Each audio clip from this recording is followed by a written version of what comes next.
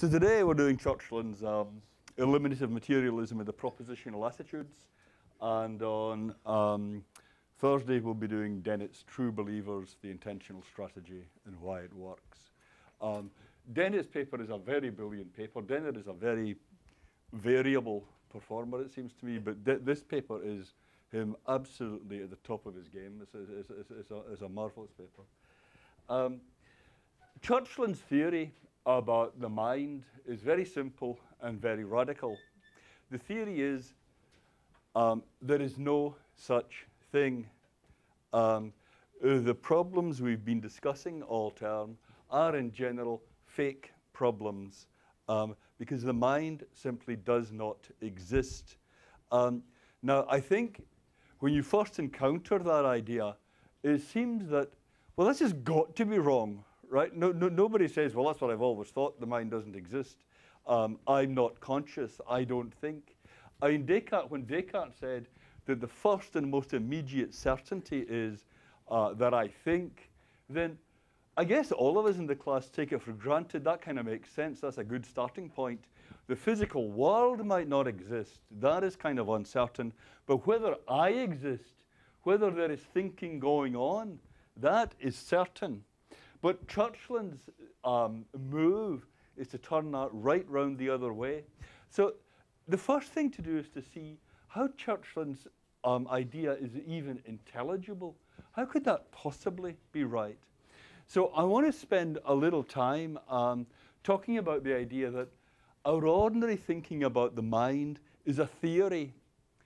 Talking about the mind is a theory in the way that talking about the physics of the objects around you or the behavior of electrical circuits, that involves theory. If folks, th this is really the decisive move in what Churchland is saying. If folk psychology is a theory about the causes of behavior, if when you're talking about what you think and what you feel and what you believe, you are working with a hypothesis about the causes of your behavior, then that's something that in principle could be completely wrong. So if Churchland can be persuasive about this, then um, he's really halfway there. This is really the decisive move to stop it seeming just unintelligible that the mind might not exist, to having it seem like a reasonable hypothesis where it might go one way and it might go the other. So look, here's a puzzle. Here's a puzzle. Here is Maxie.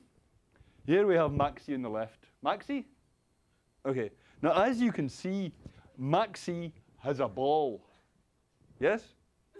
Okay. Now, what what's going to happen is Maxi puts his ball in the red box. Follow me like a leopard. Okay, you're, you're completely with me so far? Okay, now Maxi leaves the scene having put his ball in the red box. And now, Maxie's dad, who, as you can see, is a somewhat furtive and um, suspicious looking figure, um, comes onto the scene. And Maxie's dad moves the ball from the red box to the blue box. So Maxie doesn't see his dad move the ball. Maxie doesn't know that the um, ball is in the blue box now. Okay, following me like a leopard? So, here is the crux. The big moment is when Maxie returns. Maxie wants his ball. Where will Maxie look first? Put, okay, put your hand up if you think the answer is the red box. Very good. Put your hand up if you think the answer is the blue box. Wow, okay. Very good. The right answer is the red box. Um, now, so congratulations. Um, uh, but the thing is, for each of you in this class, there was a time when you could not do that, um, when that problem would have been impossible for you. Um, this, is, this kind of scenario has been shown to children between two and five years old thousands and thousands of times since the early 90s. And um, actually some of the basic work on it having been done right here in Berkeley in Alison Gopnik's uh, lab. And the basic finding was children at three years old will say the blue box. Maxie will look in the blue box. They don't have the idea that Maxie is going to look in the red box. It's a very robust, it's a kind of a surprising finding, and it's a very robust one. Um, children at three years old will say the blue box, and you can't get it out of their head that it's going to be the, uh, the, the, the, the blue box. By the time they're four to five years old, children have got it. So um, you'll be pleased to hear that you did at least as well as the four to five year olds. But that is a big hurdle. So, what is going on there? Why is it that children can't get it? That um, I mean, it seems like the most obvious thing in the world, right? So, how could you? What could be going on for children when they're at a level where they understand this perfectly well, but they don't have the concept that Maxie might have a false belief about where the ball is? Right? They just don't have the idea of false belief. It's been tested in, from many, many different directions, this, this finding. Um, for example, also about children's um, knowledge of their own beliefs.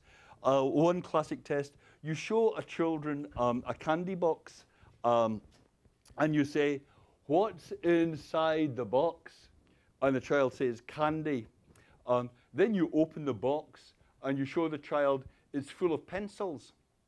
And the children will be really surprised by this, right? You picture it right.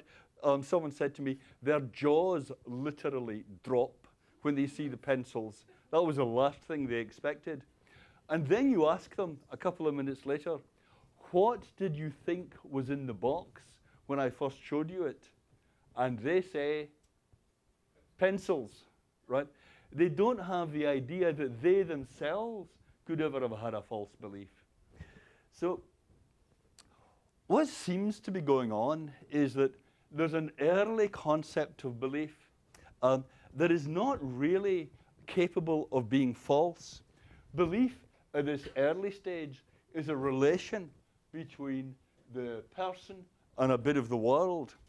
So if you're asking, what's the bit of the world that is going to guide Maxie in finding and looking, in, uh, looking for, for the ball? The only ball involving bit of the world is the blue box. So the three year old is going to say, well, Maxie, if he's got any knowledge, any beliefs at all about where the ball is, they must be those that involve the place the ball actually is. Therefore, he's going to look there.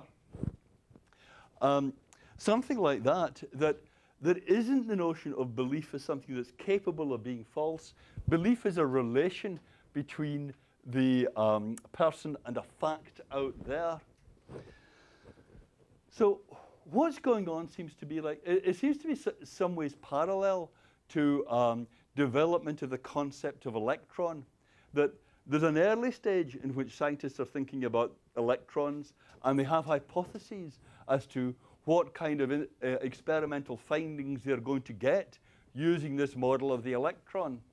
And then the findings come out wrong. They don't get the findings they predict. So they go back and they say, we need to think about electrons completely differently. Or we need to introduce the concept of another kind of particle as well. You, it's theory formation here that you're getting from one level of theory to another. So what happens later is that what happens in the transition from three-year-old to five-year-old is that um, at this early stage, the child has got all these predictions using this primitive concept of belief as a relation to an external fact. And you can see that what's going to go wrong here, um, the child's predictions are all going to come out wrong, right? Because does Maxie look in the blue box? No, Maxie looks in the red box. And the child, the three-year-old, has absolutely no way of explaining why Maxie is looking in the red box. Yeah? So the child is saying, well, I need some new concept here. I need some new construct to explain why Maxie is looking in the red box. Yep. Um, so in the experiment, did the three-year-olds overwhelmingly pick the blue box, or did they just pick either one sort of without any reason? They pick the blue box. They don't pick the red box. I don't understand that. Well, because they're taking it that um, the only cognitive relation has, Maxie has a view as to where the ball is. They know the ball is in the blue box. Oh. Right. Okay. So, yeah, remember, Okay, okay, you were told, Right. uh, yeah, this is what I say, follow me like a leopard, right? That was, you saw dad do that, right? Unlike Maxie, yeah. So you knew the ball was in the blue box. I mean, if you're the child in the experiment, yeah, yeah. Uh, that's why you're making that prediction. He's going to look in there. Um, but all the predictions are coming out wrong in what the child is doing at three years old. So the child needs a new theoretical construct. The concept of a belief as an attitude to a proposition that might be true or false. So what the child develops is the idea that there's that proposition, the ball is in the red box, and the child can believe that. I mean, Maxie can be believing that, whether or not it's true or false. Is that okay so far? Let me just, the, the, the, the developmental psychology through the 1990s basically consisted, well, someone once said to me is um, the subject divides into those that are working on false belief and those that are not working on false belief, with those that are working on false belief being vastly outnumbering everyone else. Um, uh, so let me just go over that idea of an attitude to a proposition, because Churchland talks such a lot about this. What's a proposition, class?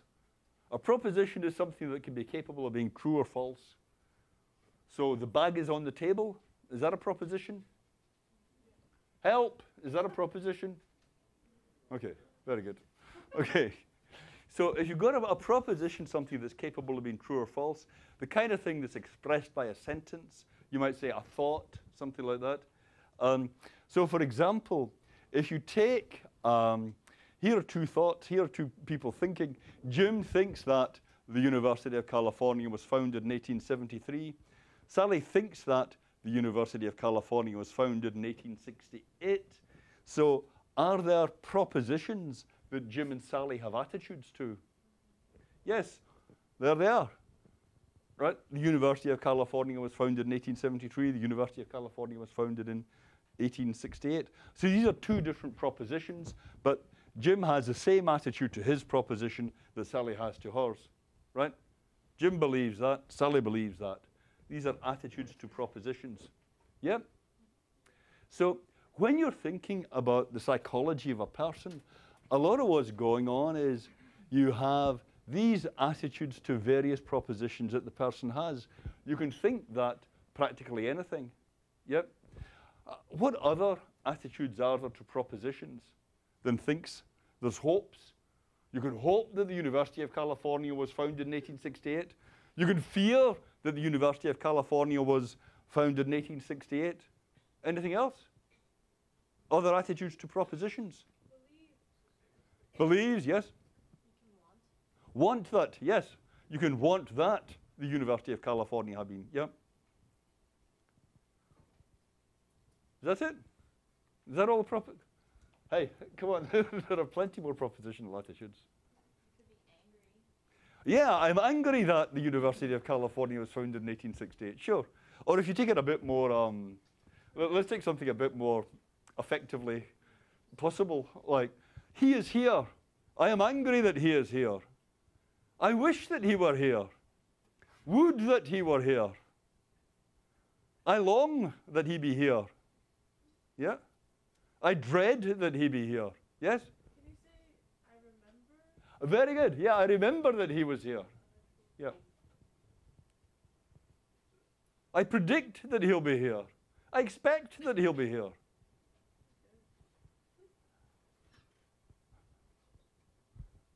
Come on, guys. you can do this. I see. Very good. I see that he is here. Yeah, perfect. I love that he is here. Yes, of course. Yeah, yeah. Okay, well, those are two particularly good ones. They'll, they'll have to do, I guess. We'll settle for quality over quantity. Okay, but the general idea of a propositional attitude is fairly clear. Yes? That's okay. Um, so, so far in the class, when we were talking about consciousness, a lot of the time we've been talking about qualia, things like the sensation of redness, or what it feels like when you have an Indian burn, or um, uh, the thrill of being in a fight, the ecstasy of a drunken brawl at, at midnight. Um, and these are different to propositional attitudes, right? Um, they, they, they don't have that same kind of structure. Just having an itch or a pang doesn't have the same kind of structure. Now, the thing is, the intriguing thing about propositional attitudes is that when you look at those propositions, there are logical relations between propositions. And the attitudes cause one another in a way that mirrors the way that the propositions logically imply one another. Okay, okay, this is a little bit subtle. Come, come, come with me down this track. Um, suppose that someone believes that either P or Q, right? Either he's here or he's in the cafe. Suppose he believes that he's not here. That proposition, um, either he's here or he's in the cafe, and he's not here. Do those propositions logically imply anything? Yes? What do they imply? He's in the cafe. Yes? Okay. Where does X know from that? He is definitely at the cafe or here. He could be at the company later. It implies that X believes that he is definitely at the cafe. Yeah, X has that belief. I mean, how X came by that belief is another part of the story, right? Um, God told X. Right? Okay? it's my story, right? Um, so he believes that he's either in the here or in the cafe. He believes that he's not here. So these logically imply that he's in the cafe, right? So if X has these two beliefs, what will they cause X to believe? That he's in the cafe. Yep. So there are, there are the, if you just look at the propositions, there are logical connections between them. And then when you pan back and look at the propositional attitudes, there are causal connections between them. And the causal connections between the attitudes mirror the logical connections among the propositions.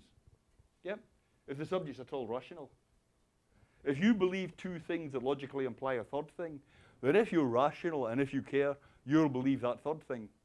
That will cause you to believe the third thing. Yep. Can you also see it that like if P is something that will cause anyone to be afraid of it, then X will be afraid of P because If P is something that will cause anyone to be afraid of it, uh, that doesn't quite make sense. P is a proposition, remember. That the tiger is on the prowl, for so- example. but, like, then X is afraid of P because anyone will be afraid of P. Um, if P is a thing that anyone would be afraid of, but remember, P is a proposition. Yeah? You can be frightened that the tiger is on the prowl because you're frightened of the tiger. But the tiger is a thing out there with foreign claws. Yeah? Do propositions have foreign claws? No. So what you're frightened of has foreign claws. Therefore, it's not a proposition. This is a little bit subtle, right? You're frightened that the tiger is on the prowl, but what you're frightened of is not the proposition. What you're frightened of is the thing, the tiger. Yep. Um, so the, the, you're right that there is causation here. That, that the, the, the object might cause you to be afraid, but that's different to this kind of pure structure here, which is that the attitudes are causing one another. Your belief, say I'm afraid that the tiger is on the prowl, um, and I believe that the tiger is on the prowl. Uh, uh, uh, I am afraid whenever the tiger is on the prowl, and I believe that the tiger is on the prowl. Those two attitudes might cause me to have a third attitude, namely fear that the tiger is on the prowl. Yep, yep. Um, I just to like clarify, you said logical relations between propositions Yes, create the causal connections between atoms. that's right. Okay. Good. Yeah. So um, that's to say, I mean, what I said was, um, when you're moving from believing that Max has got to be looking in the blue box to having the idea that Max has got beliefs that might be false, what you're doing is you're working your way into this theory, where there are the way that the causal structure of a person goes mirrors the way um, uh, the logical relations among the propositions go. So you've got a stack of propositions that imply a conclusion. Then anyone who's rational and cares, uh, who believes all those propositions, will believe the conclusion. Yeah? That's all right? So this is a theory. This is a theory in the sense that the, the, uh, the notion of an electron um, is part of a theory. you can think of the way the propositions are working here or as analogous to the way that numbers work in physics. And suppose you've got um, a gas, suppose you've got a, a, a, right in front of you gas in a container, then you've got here a physical object, the gas in this container, and it's got various aspects, right? It's got pressure, temperature, volume, um, mass. Um, so the way you describe the object, the way you describe the uh, pressure, temperature, and mass and all that is by giving numbers to them. Yes? Every individual step here should be perfectly obvious, but we are heading uh, inexorably to the conclusion that the mind does not exist. So bear that in mind, right? Um, so what's going on with a gas is that you know the laws governing the gas. So then when you give numbers to all these different aspects of the gas, you know how the gas is going to behave. So um, there are laws governing physical objects stated in terms of the relations between these numbers. So um, I'm told that if you've got a fixed mass of gas, a fixed number of molecules of the gas, if the gas pressure is P and the volume is V and the temperature is T, then the temperature is the volume times the pressure. Right? Okay. Thank you. I hope that's right. Um, okay. Uh, so that tells you, once you know the numbers for the temperature and volume of the gas, now you know how the gas is going to behave because you know these general laws. Um, so the way it works with people, suppose that you have been sitting next to the same person all semester, um, but you don't know much about them. You want to find out about them the way you might try to find out about a gas in a container in front of you. If there's a gas in a container in front of you, you give numbers to all the relevant magnitudes. Um, with people, I mean, you can give numbers to various of their magnitudes, their size and weight and so on, but that doesn't tell you about their mind. What you want to know, if you want to know about this person as a person, is there are these different aspects of them. Just as with a gas, there is um, pressure and temperature and mass. With a person, there are these different attitudes hopes, fears, beliefs, memories. And do you give numbers to them? No. What do you do? Suppose you say, What do you hope of the person next to you? What are your hopes? Well, the kind of thing you would get if you ask, Well, what do you hope? is a whole bunch of stuff like, I hope I get a good grade. I hope my mother recovers. I hope I get a vacation in Rome. I get elected to Congress. I pay my debts. This cough isn't TB. There's world peace. Right? That's how you calibrate a person. You give proposition. You don't give numbers here. You give propositions for the attitude. Hope that. You see what I mean? You're a big long list of what they hope. You're a big long list of, let's say, what they believe. You have a big long list of propositions that they fear are true or what they love are true. Um, once you've done that, then you know how they're going to behave because you know the analog of the gas law, which is that the way that people behave will mirror the logical relations among the propositions. You measure people psychologically using propositions in the same way you measure physical objects using numbers. That's what's going on when we're talking about the mind. You've got a kind of abacus here, a way of explaining and predicting the behavior of people. Just as in physics, you've got a way of explaining and predicting the behavior of a gas using numbers. You've got a way of um, explaining and predicting the behavior of people using propositions. Okay, that's what you did between three and five. You catapulted yourself into using this theory that now seems so simple and um, you, you, just take it for granted. You don't even think about it. Is when I hope that when I'm articulating this, it seems like I'm laboring something perfectly obvious because I'm suggesting it's something you've been taking it for granted in your own thinking since you were five. When you were three, it was a big struggle to get to that. But now, working with this theory is a simple, familiar fact of everyday life. So there are laws governing people, just as there are laws governing gases connecting pressure, temperature, and volume.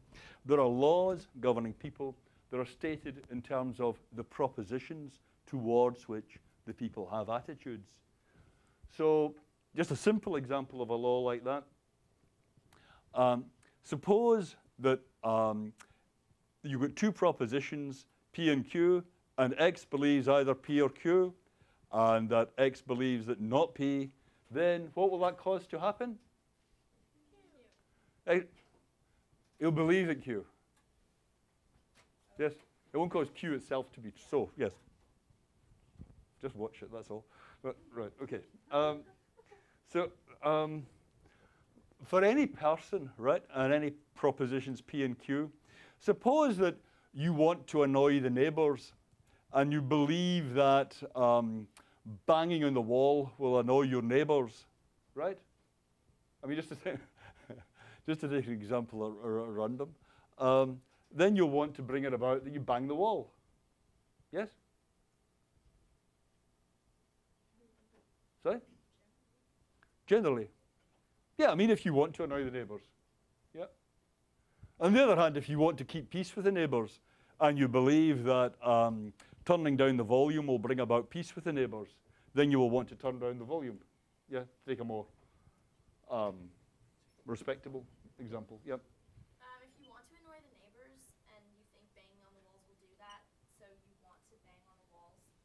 At the same time, could you like not want to bang on the walls because you're afraid, like? Right. Very good. These, th th this is a little bit simple. Yeah. Um, so the, you, you, you, you would really need some clause here like, and you don't have any other relevant beliefs or desires. Yeah. Or some way of looking, panning back and looking at the big picture. So it's not going to be trivial to properly articulate all this. The, the, the, that's just right and important what you say. Um, but that we work with generalizations like this the whole time. I mean, that's how ordinary life is possible, right? And if you just, um, as we were talking right now, I have a whole bunch of assumptions about what you believe and want. You have assumptions about what I believe and want. Um, that's how you predict what people are going to do. If you're driving, you just assume that, well, if he's signaling left, that means he wants to turn left, and that means he's going to do this. Yeah? You're assuming that the other person is broadly rational the whole time.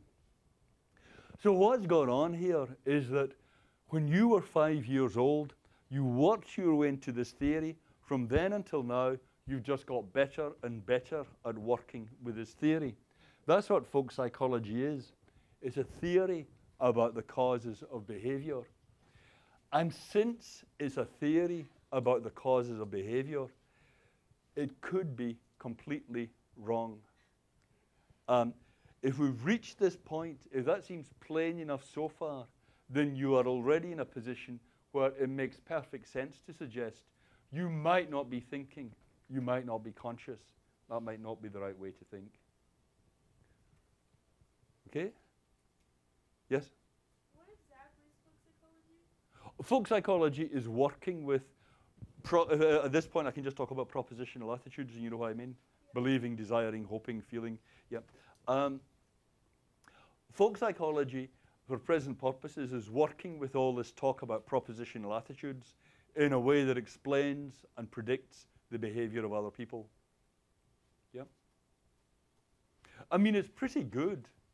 We use it the whole time, and it, we, we, we it, it, it, it, does us some good. We, we do a lot better. The five-year-olds are doing a lot better in explaining and predicting than the three-year-olds are. Yeah. But what we'll come to in a moment is that there are big limitations in this. Yep. Yeah. So the question. Oh no, it's great. Okay, it's gone away. Yeah. Okay. Okay. Okay. Plain enough. Okay. Well, here's an analog for. Um, the way Churchland is thinking about um, our ordinary talk about the mind.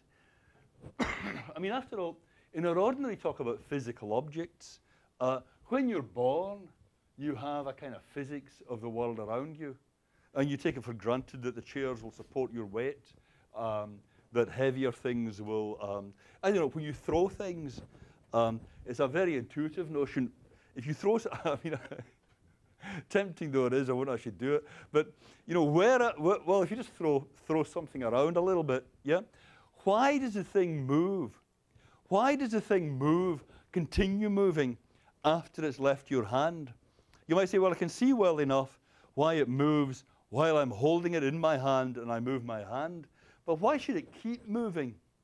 Well, a very natural theory there is that you communicate some impetus to the object, and the impetus is what keeps the thing moving. But impetus naturally decays after a while, and then the thing stops moving. Yeah? I, we talk like that the whole time anyway. Yeah, uh, we often use it as a metaphor. Um, uh, the, the whole civil rights movement was given impetus by this speech. You know, it was given some of this thing that kept it moving forward for a little bit, but then it naturally decayed.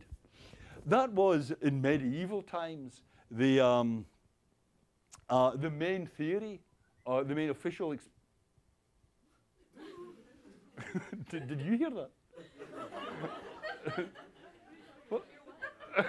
Thank you.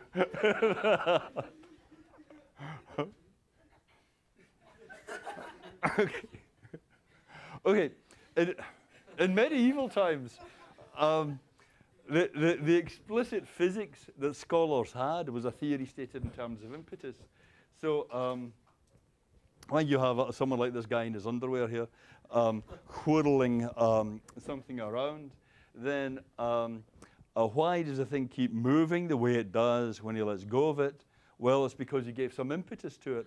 And it was thought that impetus was maybe circular, typically circular, so that if you're doing that, you'd give a circular impetus to the thing so it would keep kind of looping round. Is that theory correct or not? Yeah, it's not correct. But um, there are plenty of tests with actually with um, college students where people are given puzzles like this and say, how will the thing move? If you had a gun with a spiral barrel and that fired bullets through the spiral barrel, how would the bullets move when they came out? Straight ahead. Straight ahead is the right answer, but you will find a surprisingly large number of college students who think, no, it kind of goes right. Uh, it keeps whirling round. And that's a very intuitive answer. You know, it's not like you say, well, that's just some kind of madness. You're born with that kind of physics. Nature gives you some kind of starter pack of the physics of your environment, and it seems to have these notions like impetus in it. But impetus theory just has a lot of limitations. Um, th- th- there are lots of basic phenomena it can't explain, like um, why do the planets keep going? I mean, s Newton seems to have had some picture like when the planets were first formed, God kind of gave them a to get them going. Um, but an impetus theory, the impetus that the planets had to start with should keep running out. So they should need to keep getting some more nudging to keep them moving, right? But they clearly don't need any kind of pushes like that. Um, or the tides. The. Part of what is so poignant about the tides is the way they just keep rolling in and out, relentlessly in and out. The way they did it before you were born, the way they'll be doing it after you're dead. Um, and they don't need any push to do that, right? There is not impetus that is keeping the water moving.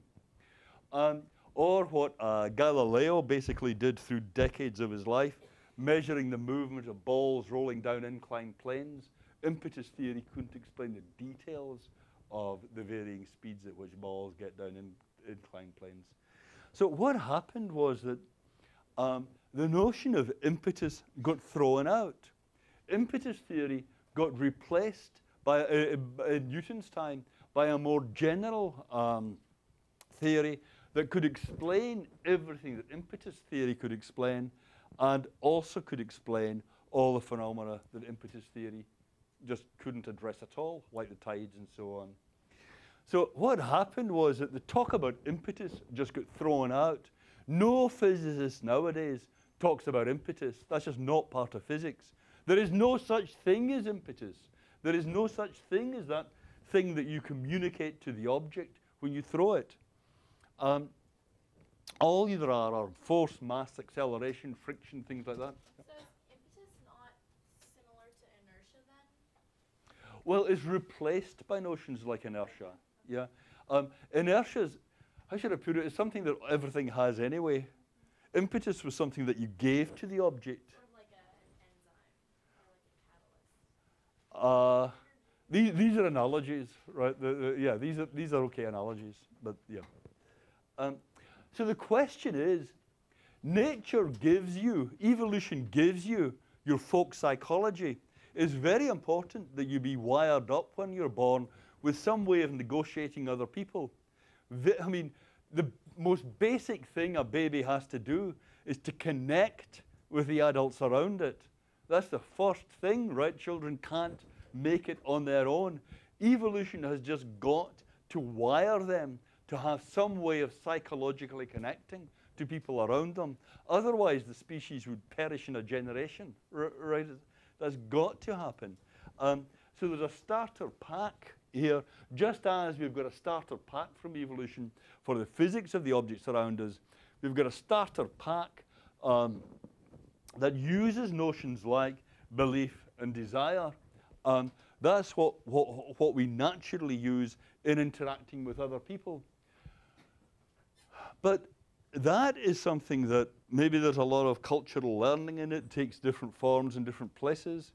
But that's going to lead, just as um, folk physics leads on to scientific physics, so folk psychology should lead you on to scientific psychology. And the question is are there limitations of folk psychology? Now, notice incidentally that when I'm talking about um, folk psychology here, I'm not just talking about your knowledge of what's going on with other people, people's minds. This applies also to your knowledge of what's going on in your own mind. In your knowledge of what you're thinking, what you're believing, and so on, you're using that starter pack of folk psychology just as much as you are using it in connection with other people. Now, are there limitations to folk psychology? I mean, is there an, are there analogues to the movement of the tides or the movement of the planets? Things that folk psychology, things that our ordinary talk about in the mind, just can't explain. Anything? Examples? Mind-body problem is a good one, yeah. Yes, sir? Irrational behavior, excellent. Yeah, what, what kind of thing do you have in mind? Okay, but uh, uh, there, it's not that there aren't any examples, it's that there are millions of examples, right? Okay, so certainly, because everything I said so far about folk psychology is geared to explaining everything in terms of rationality. So if you get something that's truly irrational, then folk psychology is helpless. Um, they just can't explain it. Yep, yep. Uh, maybe like a circumstance where you're being forced to do something you don't want to do. Uh, are you giving that as an example of irrationality? Uh, no, just like I guess a, a situation where like the folk psychology wouldn't. wouldn't apply. I see. Yeah, yeah. Okay, fair enough. Yes, it's, uh, if you have, yeah, if you have something where it's not your beliefs and desires making you do it, yeah, then folk psychology is not going to explain that. Yep. Doesn't folk psychology only apply to uh, people who grew up in our environment? Uh, For example, if I have someone who grew up uh, on, on an island somewhere uh, yeah. You might find that folk psychology, your folk psychology, just doesn't get a grip with them. Yeah, if it's someone from a completely alien culture, that is possible. Yeah, yep. Is lying? Lying. Yes. I don't know. Lying might be highly rational. It depends on the lying. I guess like you just lie to someone when you believe, and then you clearly show signs that you. I don't know, like you could say, like the jealous example is like I'm not jealous, and then you like clearly are because you're. Yeah. uh, well, yeah. That's not always lying. Um, you you might be perfectly sincere there, um, but lying lying is often it seems to me highly rational. When, when politicians lie, um, nobody says they're being irrational. The trouble is they're being all too rational. Uh, yeah. Look, here's a list um, Uh, I think Chur- uh, uh, uh, uh, uh, a that Churchland thinks. What? What just happened?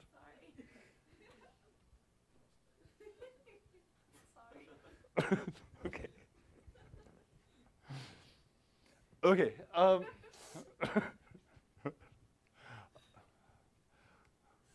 okay. Maybe that is an example of the limitations of folk psychology. I have no idea what's going on. Right. Okay. Um, creativity. How did Darwin come up with the theory of evolution? How did um, uh, uh, J.K. Rowling come up with the Harry Potter stories? Um, how did you just have that great idea for an essay? Um, how did um, how did uh, Robert Frost come up with the poems that he did? Well, in folk psychology, there is no way of explaining these things. We just casually regard them as mysteries. We say, well, we'll never get to the bottom of that. It really is um, a fundamental problem there. Um, but that's not, I mean, we're, we're used to regarding that as a mystery, but that doesn't mean it's okay to regard it as a mystery. It ought to be possible to explain these phenomena. Um, yeah, Association. Creativity consists of association. Yeah. Yeah. that uh, n- I would never invent something totally new without experiencing anything before. Okay, we can we can put that as a theory of creativity. The the trouble you will have is in giving any um, prediction. Yeah, uh, yeah, yeah. G- giving enough substance to the idea of which associations are going to be the ones that really matter But I here. could, I could say what I could predict what creativity will not include. For example, nobody will paint a horse when a never saw a horse before. You could predict that, but you would be wrong. I mean, okay. Um, why are some people smarter than others? I mean, is it? No one has the slightest idea. Why are some people smarter than others? Is it because of the way they were brought up? Is it because they went to Berkeley? Is it was because they didn't do philosophy? Um, I mean, there isn't a sensible theory here. What goes on when people are dreaming? Why do we sleep? I mean, people have been working on this very intensively. Um, why do we sleep? And in particular, what's dreaming for? And nobody has anything very good to say about it. Um, one theory is that when you sleep, it kind of keeps you out of trouble. Um, you know, you, when it's dark, you can't see too good, so if you sleep, that kind of keeps you out of trouble. That's not far from the state of the art. Um, yeah. So would a further question, like, why do we sleep? So then would a further question be, why do we get tired? Because I feel like the answer to why do we sleep is because we get tired. Yes. Then you ask, why Oh, why do we get tired? Yeah. Uh, how come sleep helps with being tired? Yeah. Um, uh, and what's dreaming? For what is all that about anyway? You know, why do we dream? Um, you might try. Anyone could try off the top of their head something about, um, well, emotional processing, um, maybe something about cognitive reinforcement, something as vague as that, and then that's it. That's when it runs out. Why do you have the dreams you do? Nobody has any idea. Um, folk psychology just can't address these things. How come some people are good at basketball and some people are not good at basketball? I don't know. How come it's so hard to learn to ride a bike? Well, see, I found it very hard to learn to ride a bike. So, how come there's so much variation in how, what's going on when you're riding a bike anyway? From the point of view of current cognitive psychology, that is an absolute mystery. There simply isn't a good theory of how people do stuff like riding bicycles. Um, how does vision work? If you want to understand, I mean, you get a 2D pattern on the retina, and so, somehow that generates the whole rich visual world that you get around you. What's going on there?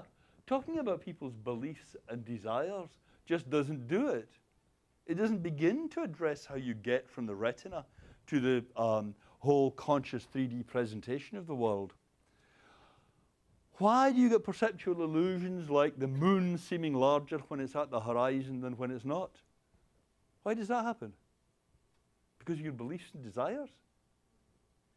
Uh, Why is it that um, if you draw two lines the same length and you do the arrowheads like this, Oh, you see what I mean? A picture, if you will. Um, um, didn't do that too good. Okay.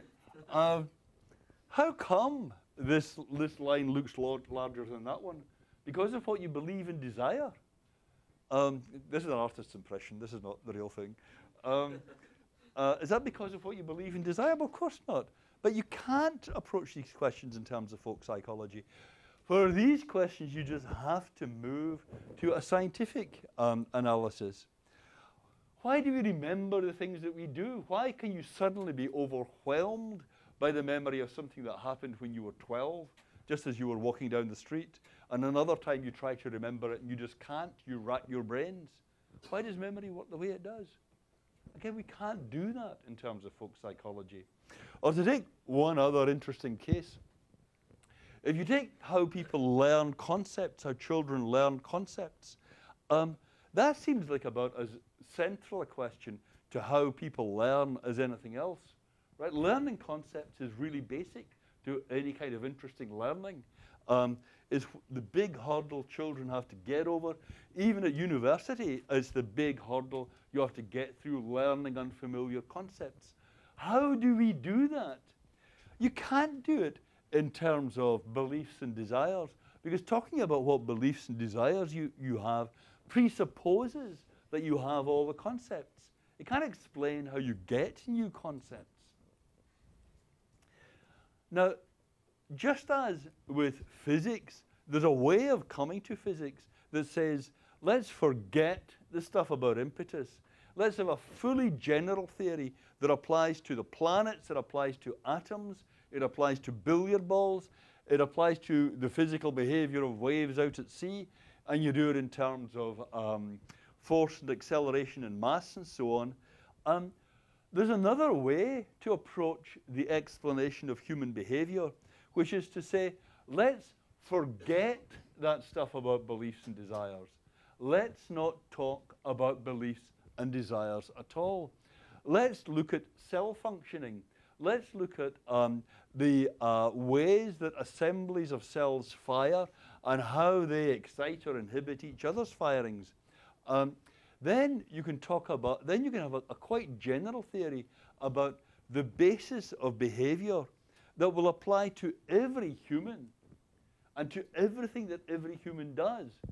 Because what you're talking about here, when you're looking at the biological bases of behavior, are things that underpin any kind of human movement or action at all. But they also don't just apply to humans, they apply to any animal. There are going to be general laws governing the ways that neurons work that are far more general than talk about belief and desire and that just won't give up when you're talking about perceptual illusions or memories or um, whatever it might be.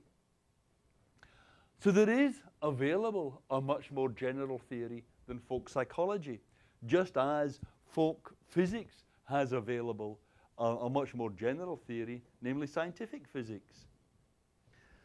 So looking at it like that, what we ought to be doing is replacing talk about thinking and believing and feeling, replace that with a much more general theory that can explain everything that folk psychology can explain, but also all these other phenomena that folk psychology can't explain.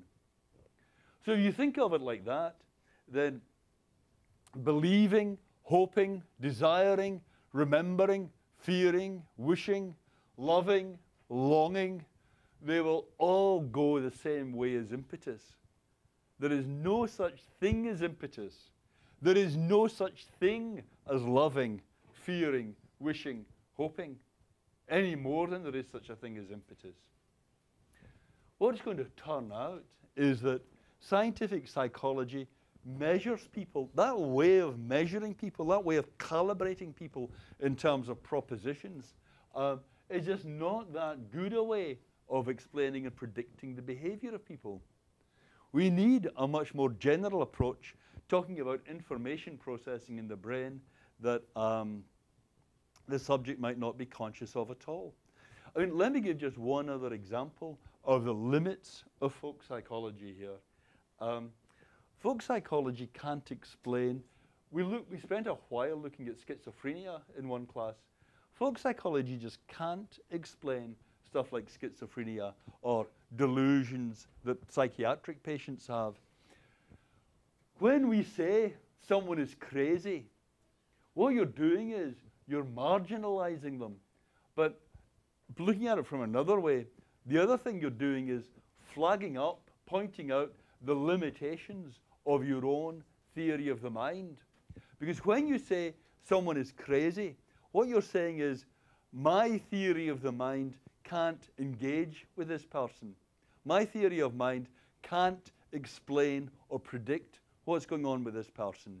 And I bet, and if you're saying it for someone else's benefit, if you say, well, she's just crazy, what you mean is, don't even bother trying to get your theory of mind to connect with this person because it won't do it. Um, that's not something about them that is wrong. That is a limitation in your way of thinking of things. Just as with impetus, you hit limitations in your way of thinking of things. When you say someone's crazy, what you're doing is you're putting them in a box and saying, my theory of mind is not going to work for this person. So you remember we had this case of a 22-year-old woman who um, thought that thoughts and feelings emanating from her mother's unconscious were being communicated to her via raindrops that fell on her air conditioner. So when the raindrops hit the air conditioner, they went crack, and the thoughts and feelings would be inserted into her mind. Can you explain that in terms of the beliefs and desires of this patient? I mean, it just kind of seems obvious. You might try to cook up something Freudian, but it seems obvious right at the start that this is not going to work. So when Descartes says the certainty with which you know of your own existence is greater than the certainty with which you could know of the existence of any physical thing, when Descartes says, At last I have discovered it, thought, this alone is inseparable from me. We did this in the very first lecture of this class, and then it seems like this is just a basic certainty. Descartes was surely right about that. Everything else might be an illusion, um, but surely you know about your own thinking, right? Can you put your hand up if it still seems to you that Descartes was right about that? You're certain about your own thinking, even if everything else is an illusion. Yeah? Okay. What I'm suggesting is that's really a big mistake. Um, you are not certain of your own thinking. When you say you're certain of your own thinking, what you're doing is you're just working within folk psychology. Um, Descartes is just working within folk psychology the same way you might work with an impetus theory. And if someone says to me, um, you, objects don't have impetus, physics has thrown out that notion of impetus. You could say, but look, impetus, right? Impetus. Does that, if I do that, does that demonstrate that things have impetus? I just gave this impetus. It doesn't at all. All that's going on here is I'm taking the notion of impetus for granted and working within impetus theory. And when I work with an impetus theory, it seems so obvious. Sure, there you go, that's impetus at work. And similarly, if I take the notion of thinking for granted and use that and say, look, here it is, here's thinking going on, that's just like tossing the duster and saying, there's impetus for you. You're saying, look, here's thinking. What could be more certain than that? But th- that just underestimates the challenge. The challenge talking about impetus is not maybe you only think this object has impetus, but it doesn't really, and other things have impetus. The challenge is the radical one that the very idea of impetus has to go out of the window and be replaced by talk about forced acceleration and mass. And the challenge to the idea of thinking is not, well, maybe you saw thinking, maybe you thought you got thinking here, but well, it wasn't really what you'd call thinking. Um, that's not the challenge. The challenge is the whole idea of thinking has to go out of the window and be replaced by talk about what is going on with the biology of the brain. Yep. I'm, I might have this wrong, but it seems like to me what you said about impetus, like with the analogy that the reason we're throwing impetus out as a theory is because even though, let's see, it covers a certain amount of things, we've seen all these things that it can't. It can't cope with. for, Exactly. And that's why we have to throw it out. Exactly. But to me, that sounds like it doesn't. It's not that there's anything within the, what the impetus theory covers that is necessarily wrong. It's just that there's stuff outside of it that we haven't accounted for. So Right. to like that doesn't seem like a logical enough reason to throw out necessarily propositional atti- attitude psychology. It just means that there's more stuff we should add to what we believe. Yeah. So it doesn't necessarily say that anything that we've learned through propositional attitude psychology is wrong. It just means that there might be additional truths. Okay, that's an important point. Um, um, the, the, the, the remaining question is going to be how does impetus relate to the concepts of scientific physics? Yep. So suppose we say the more general notion is that um, we talk about force and acceleration and mass and so on. Yep. And uh, then we say, but couldn't impetus be a local part of the picture? You, you see what I mean? Yeah. Because it works fine within the restricted domain. Yeah. The question is going to be, does impetus map onto any of these concepts, like force and acceleration and mass, that we know are what the underlying reality is? Yeah. And the reason impetus gets thrown out is it doesn't actually have any tidy map onto these under, uh, underlying notions. Yeah. So if it did, then you could say, yeah, impetus is just a special case. Yeah. Um, but that's not what happens. That's why the notion gets tossed. Similarly, you could say the belief desire bit just works within a certain limited domain. Let's hang on to it for that. But we know what the general theory looks like. It has to do with stuff about the biology of the brain. And what we're learning is that, I mean, in a way, something we've been psyching up for the whole term, is that there is no tidy map from these talk, talk about belief or desire onto anything put in terms of brain biology. I guess it So- seem, it seems like when we say like, oh, we're throwing out the idea that uh, thinking is a certain thing, like that that Yeah. Cartesian belief that thinking is a certainty. I I guess I thought that the reason we're throwing it out was like, for all we know, there's some more all-encompassing viewpoint that tells us that there's something more to thinking, and that seems to me like a weird Uh. reason to throw out something that we believe is certain, because there's nothing that deli- like directly proves what he said is false. All it's done is just said that there might be something that tells us more. Okay, that's an important mm, possibility, and I, I, I, I, I, I don't want to try and close that off right now. Okay, yeah, one. Well, kind of expanding what he was just saying, I think it's a stretch to say that Descartes was working just within folk psychology. Uh huh. Because I think he talked a lot more than just your desires or your passions, but it's like everything that you think at all. That's what I'm certain about. Not just I'm not just certain about my. That's right, that's right. But these are all folk psychological notions. And if the challenge is folk psychology is wrong from start to finish, that is a bad set of concepts to be using, um, then he's really helpless against that challenge, it seems to me. You, you, you can't um, meet that challenge just by saying, well, it seems to me very certain that I'm thinking, any more than you can meet the challenge to the impetus theory by saying, but yeah, that's, this is impetus.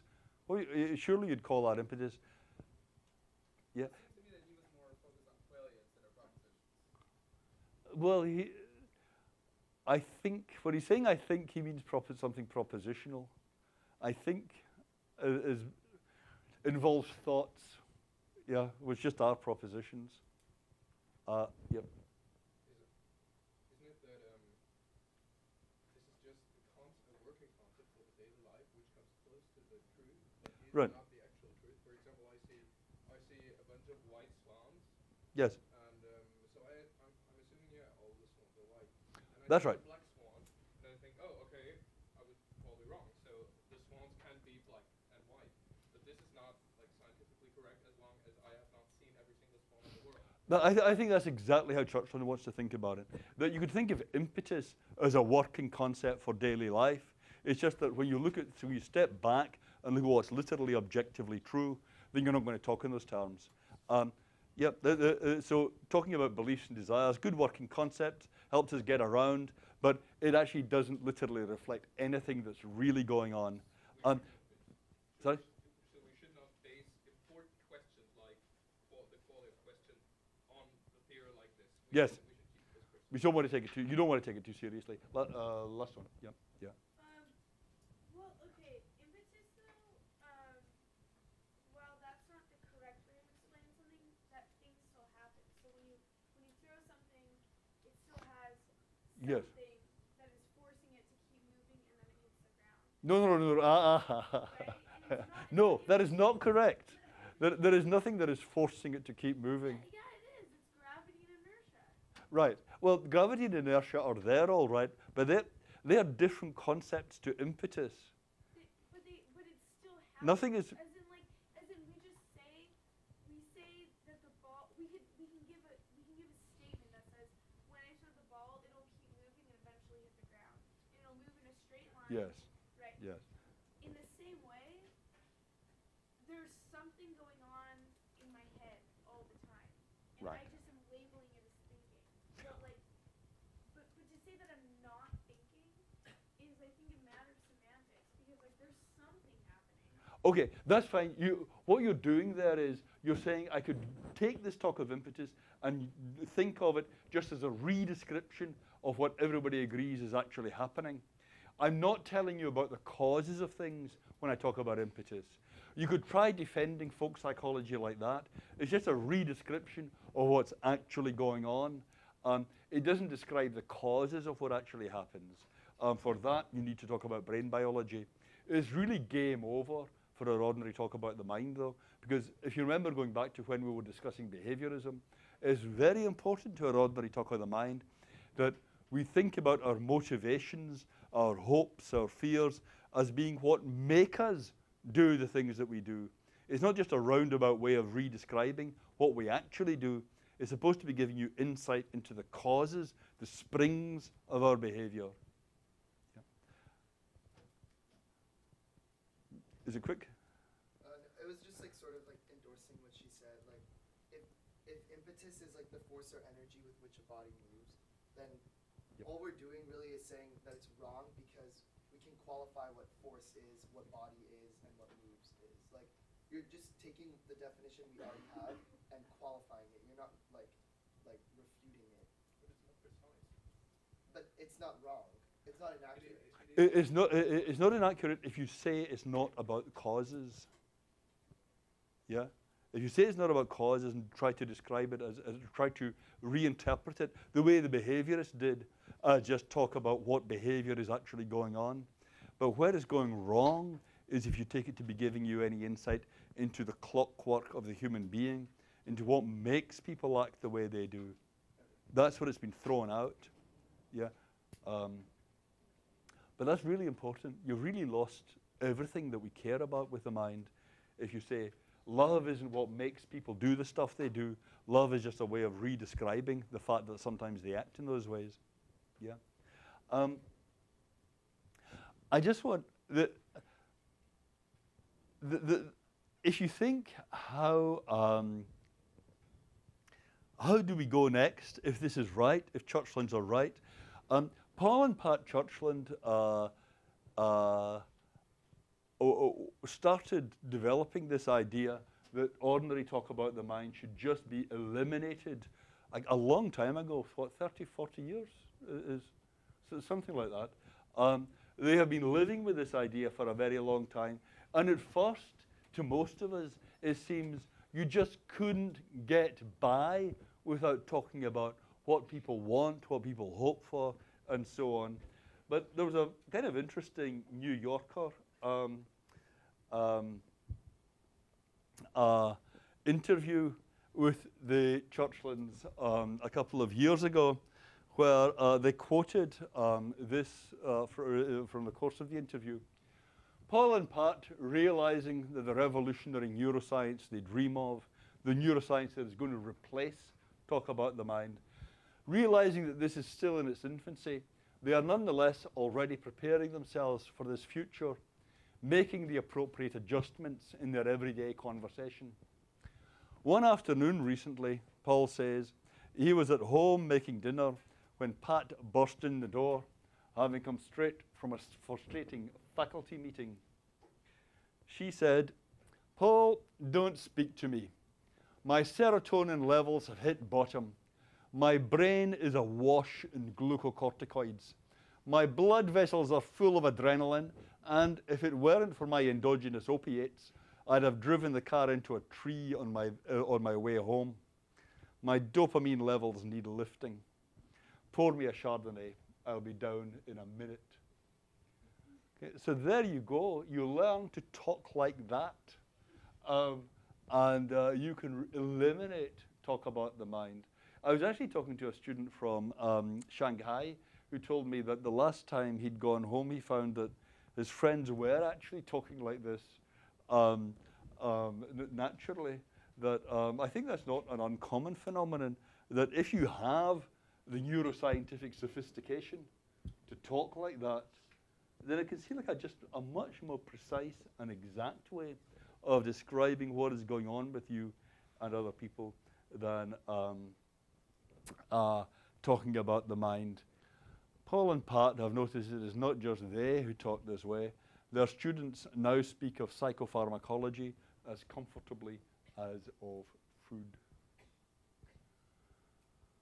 So, with that glimpse of the future, yeah. Central state materialism said beliefs and desires exist all right, it's just that all they are are brain states. This theory says beliefs and desires don't exist, all there are are brain states. Yeah? okay. This is still a working concept only because um, they will never reach the level of accuracy that is possible. For example, they will never be able to say, "Oh, I have 1.2 milligrams of this or that glucocorticoid in this and this area of the brain." So I mean, it's still a concept. It's not right. You may be right, but the, on the other hand, Churchland's point is you may be wrong. You cannot draw bounds around what the science will do in that way. So, sorry, we've got to be quick. Um, yep. Last one. Uh, didn't we like have a, uh, a like a month ago a lecture on how we can't talk like this and why that doesn't give us any insight into why people do anything? I channel different people at different times. I, I'm not claiming consistency for absolutely everything I say throughout this class. Okay, on that note, we have to stop. Um, try and bring your, if you have comments, please try and bring them to the front.